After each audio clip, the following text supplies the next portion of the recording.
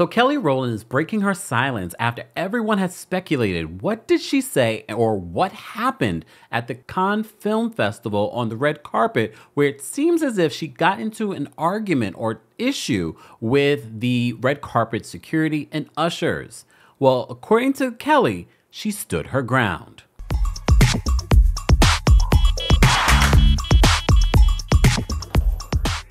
Welcome back to the Kempire Channel, your number one source for pop culture news and music, entertainment, reality TV, and so much more. As always, be sure to like this video, subscribe to the channel, and hit that notification bell so you never miss out on breaking news when we go live or when we upload.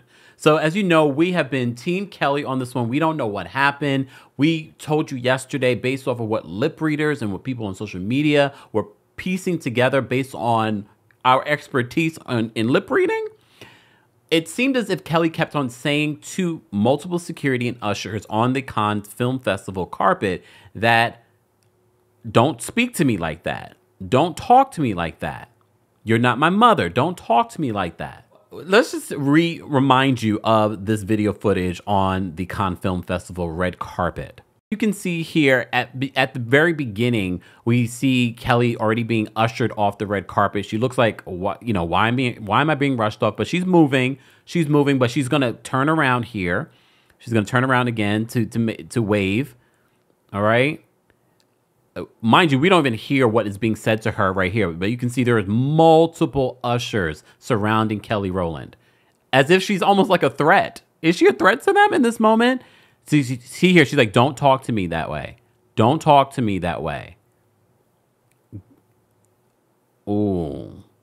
And then the condescending smirk on this woman's face. And I believe the young, the, the woman speaking to the security guard works with with Kelly. I'm not sure what position she plays or what.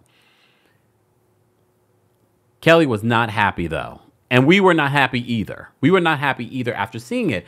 But Kelly, as I said to you before, is now breaking her silence. Before we get into that, yesterday we read to you a tweet from someone else, a black woman that attends the Cannes Film Festival multiple times. And she also pointed out she knows exactly what this is. She's experienced this over the years of attending the Cannes Film Festival for like 30 years. And she says at this point, she's taught these ushers how not to treat her. And she says, you know we're going to keep showing up living our best black fabulous life, showing up on these red carpets. And Kelly is now confirming that's exactly what happened. Take a look at what she said in a recent interview in regards to what played out on that red carpet. The, the woman knows what happened. I know what happened. And um, I have a boundary. And I stand by those boundaries. And that is it. And there were other women that attended that carpet who did not quite look like me. And they didn't get there scolded or pushed off or told to get off. And um, I stood my ground. And she felt like she had to stand hers, but I stood my ground. You know what hurts me more about watching this? And for, for someone that has never experienced racism or prejudice, you're probably not understanding what you're seeing. She's getting emotional rehashing what happened to her.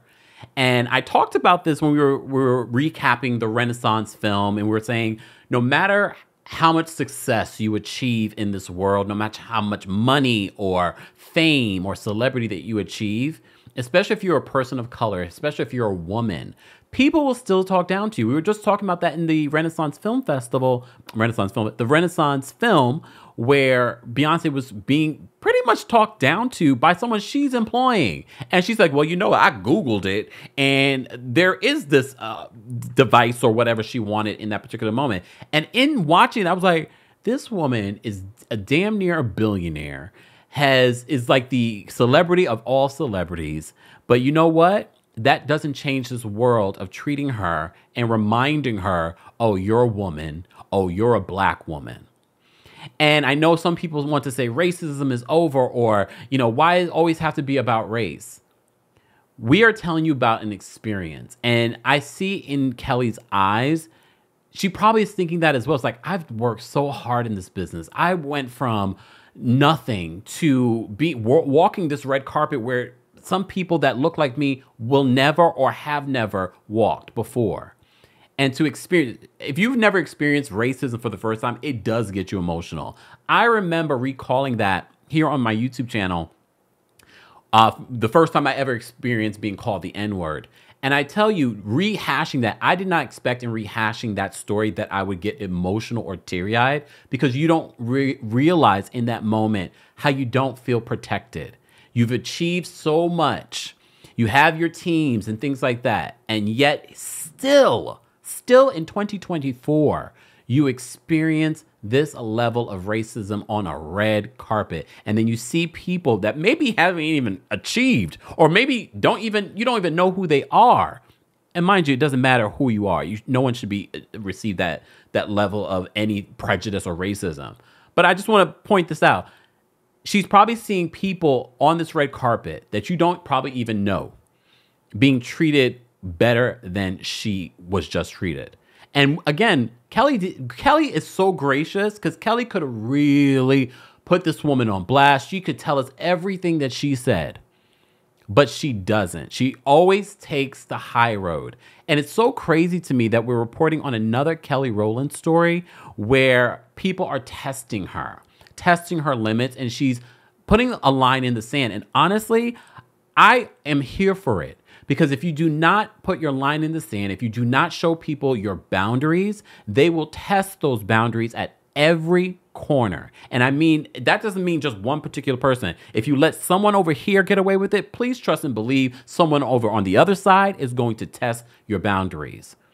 Kelly Rowland, we stand with you and every other black person, black woman that has walked that red carpet or has experienced racism in the in the world, but specifically in in this part of France. Because just last year we were talking about Bria Fleming from Summerhouse Martha's Vineyard, talk about her experience with French police while she was in Cannes for the film festival.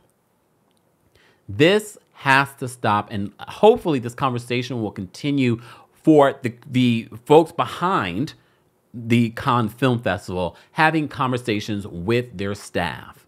Because at the end of the day, no, we don't want just Kelly Rowland to feel comfortable and given respect on this red carpet. I want every black woman, black person, every person of color to be treated with the same respect that you treated their white counterparts. Period. And Kelly, we stand with you and we're glad that you stood your ground. And I'm glad that the world is reporting on this and standing with you. Guys, as always, I want to know your thoughts on Kelly Kelly Rowland and what she had to say about what went down in Cannes. Guys, as always, be sure to like this video, subscribe to the channel, and hit that notification bell so you never miss out on breaking news when we go live or when we upload. Thanks for watching. Ooh, I got the views, you make a buyer. I'll ask you, follow my lead. Just watch your shoes.